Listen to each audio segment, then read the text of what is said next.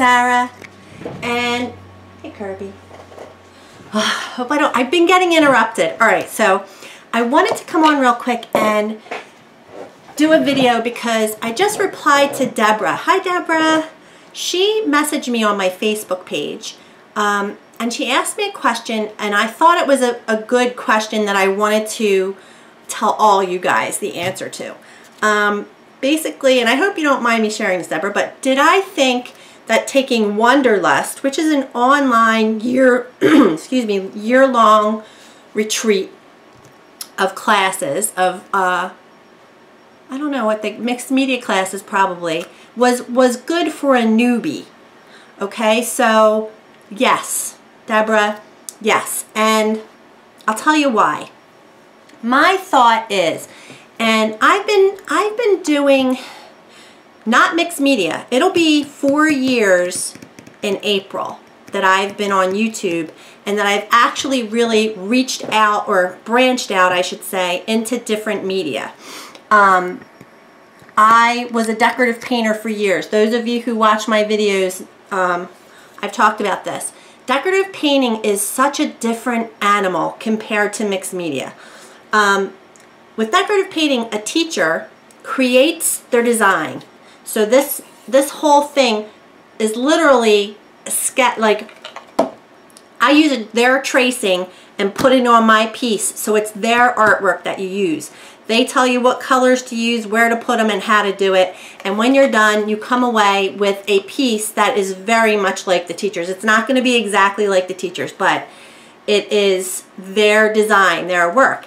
And I did that for 10 years and I loved it so much. I mean, um, eh, then it became been there, done that.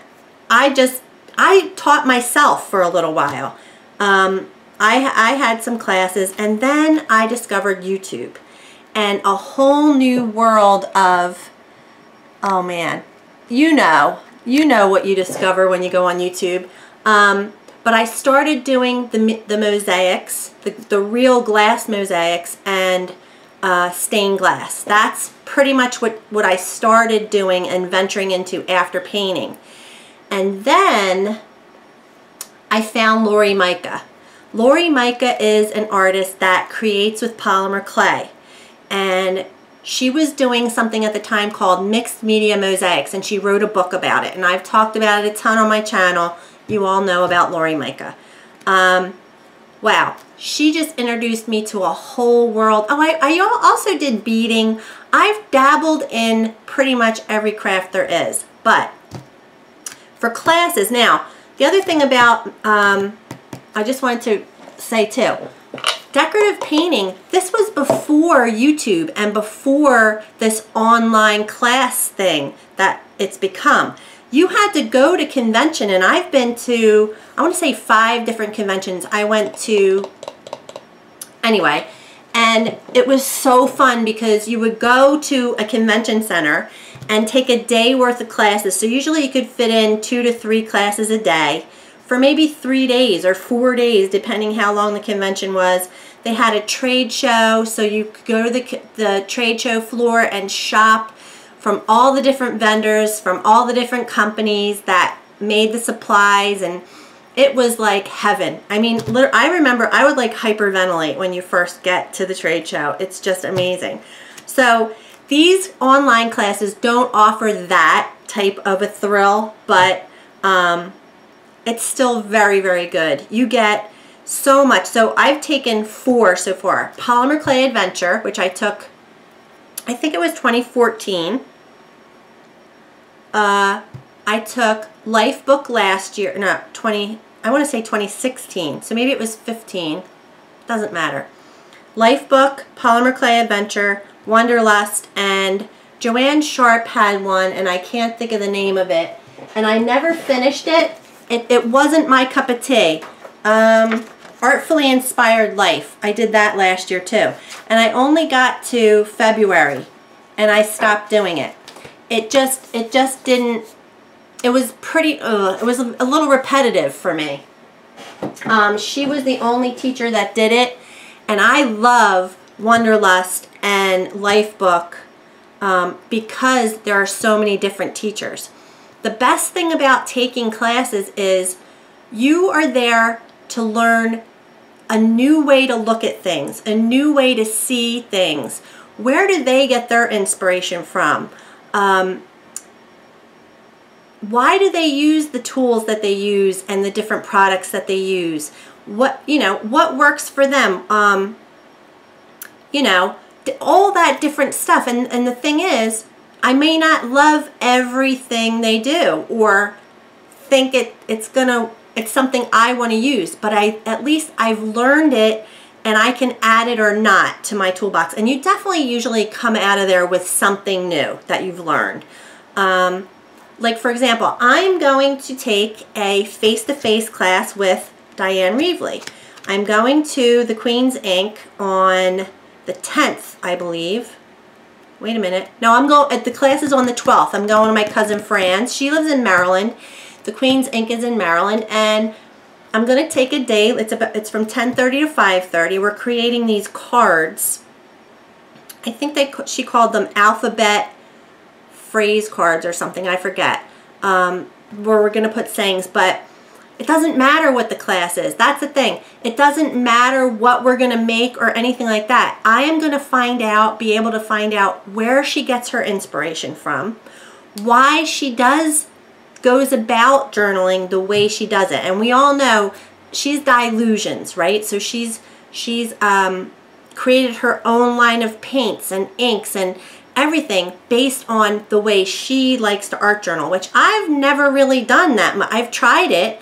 I've done a few different things in her style, but it's so big and bold that it's it's a lot. So um, I can't wait to take the class and just see where she's coming from and come away with whatever I come away with. It doesn't matter. Uh, it's well worth it. And um, so yeah, I think definitely, Deborah, take as many classes as you can. Um, so the other thing I, I was going to say is, um, oh, Crops for Fun. Hi, Crops for Fun. I don't know your name. Um, when I shared, I did a share on the Jane Davenport products. Jane Davenport, if you guys don't know, which it's all over YouTube, you should know, uh, she's come out with her own line of products now. I think American Crafts is creating her line for her and it's gorgeous because her work is so pretty and playful. Um, she actually taught a class at Lifebook last year, so I did get to take a class with her. Um, I don't think I did it. I'm gonna. I think I downloaded that one. I may have to revisit that. Crops for Fun told me that she has a free workshop because she sells a lot of workshops. She doesn't do a lot of free classes. A lot of artists don't do YouTube videos for free, like complete projects. They'll show a little snippet of a workshop that they're selling. And so that was a lot of Jane. Jane has a lot of workshops, but they're all for money for to pay for. And I've taken a lot of other, I've taken Jodi Ohl, Kate Crane, Joanne Sharpe. I did another, a different Joanne Sharpe one. Um, I didn't, Robin Marie Smith is a, another artist that I, she does YouTube videos, but I think she had some free ones on her Vimeo. Anyway, um, so I've paid for workshops as well.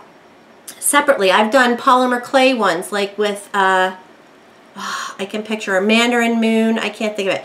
Anyway, um, this one is free, you guys. The Jane Davenport one, because of her new product line, she's put together a free mixed media workshop on her website. So I'll put the link in the description box.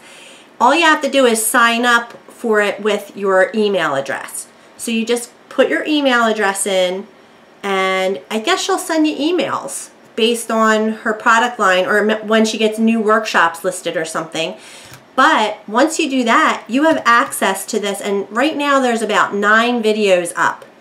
And yeah, they're based around her this new release of all her products. But you really get a lot of information. She's a very um, playful artist and whimsical and fun. So uh, you really do understand a lot more about what art journaling is all about when you watch this workshop. That's what I got out of it. I really think it's a good, a great thing. That's why I'm combining the two of these topics because, Deborah, for newbies, it's important to know that an art journal is just for fun. It's for you. It doesn't have to be anything. Um, I'm going to do a follow-up video to this one where I'm going to take you through my art journals now based on right now, today, 2017, February 2nd, how I feel about it today because it's different from a year ago and then from a year before that. It's evolved so much over this last three years, I guess, of taking these mixed media classes that now I feel like I get it. I and I didn't get it at first. I didn't understand. It was so much at coming at you all at once. So I think listening to Jane this workshop is very helpful. She really comes at it from a happy standpoint. Like just be happy. Just let it be what it is. Real loose, you know? And so I think um, it's very helpful to come to it from a place of it's okay. Whatever it is is okay. So I'm going to put the link then for the Jane Davenport. Thank you for um, the heads up about that at Crops for Fun. And also, Deborah, um, Wanderlust, I think it's a great idea. Or Lifebook, or anything, any of those, um, or maybe just if you don't want to take the whole year long one, find an artist that you're inspired by and go to their website and usually it's their Etsy Etsy channel, their Etsy store will have a listing for their workshops and you can purchase workshops through their Etsy store. And maybe just take like I did the Jodi Ohl one which was there was like a at least and even for my class when I did my art doll there's like 12 videos that I did for that. Um, and you get a little bit of something out of it. Um, so taking classes is a good thing. And if you can take them in person, I would recommend that too. And I wish there were, I hope there someone comes up with maybe DecoArt or um, what is this? Media mosaics, this thing, this DecoArt media. You should make a convention and you should bring in teachers and invite other people to trade shows. It's so awesome. Anyway, that's my dream. I can't, I love convention. And um, there's still decorative painting conventions too that you could probably all go to and, and it's wonderful. So I hope that was helpful. I just wanted to share. I love that you guys message me and ask me questions. But Deborah, this was a good one. I think uh, everyone, all newbies out there, just do it. Take classes. Jump in. Don't be afraid. How are you not going to be a newbie anymore unless you start doing things, you know?